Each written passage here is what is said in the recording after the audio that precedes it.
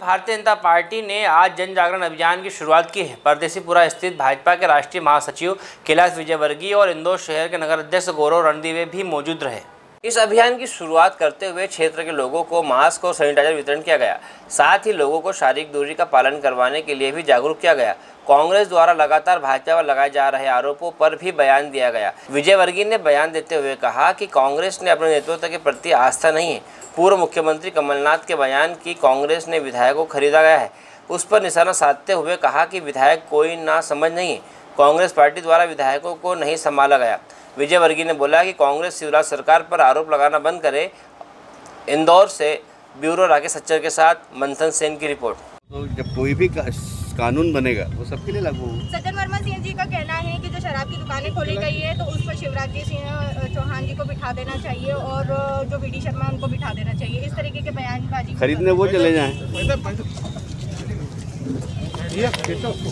कमान से हर चीज़ पूछ के काम किया जाता है।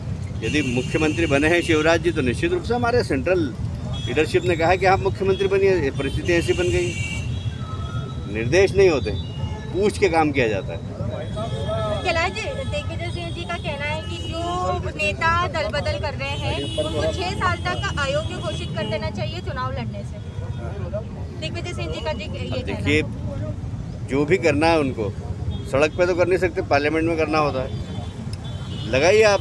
फ्राइडे के दिन दिग्विजय सिंह जी को बता देता हूँ कि फ्राइडे के दिन आप प्राइवेट बिल लगा सकते हैं।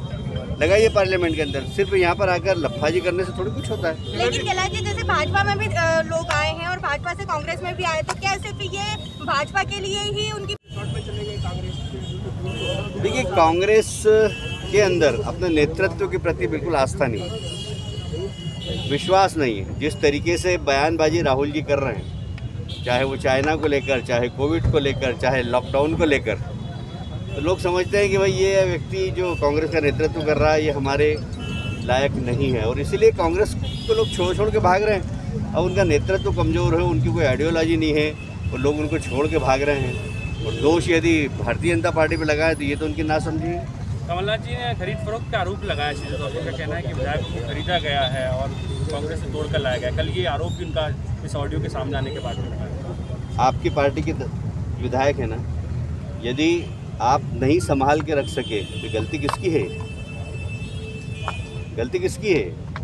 आप ही की गलती आपकी गलती है और आप दूसरों पर दोषारोपण कर रहे हैं। और जो लोग हमारे साथ आए, वो कोई बच्चे तो है नहीं कि अमूल का दूध पीते हैं और आ गए हमारे साथ। कैबिनेट छः छः छः छः कैबिनेट मंत्री हैं। जिन्होंने आरोप लगाया कि मुख्यमंत्री को मिलने की फुर्सत नहीं। हमारे काम हमारे विभाग के सारे ठेकों का मुख्यमंत्री स्वयं करते थे आरोप लगाया उन्होंने। अब पहले अपने दल को संभालिए अपनी पार्टी को संभालिए उसके बाद फिर बात करिए। उन्होंने खुद ने कहा कि दिग्विजय सिंह जी ने कहा था कोई जाएगा नहीं मैं उनके विश्वास पर रह गया। अब उनका अविश्वास है उनकी संगठन क्षमता नहीं होने का परिणाम है और दोष भारतीय जनता पार्टी को देना मैं समझता हूँ उचित नहीं।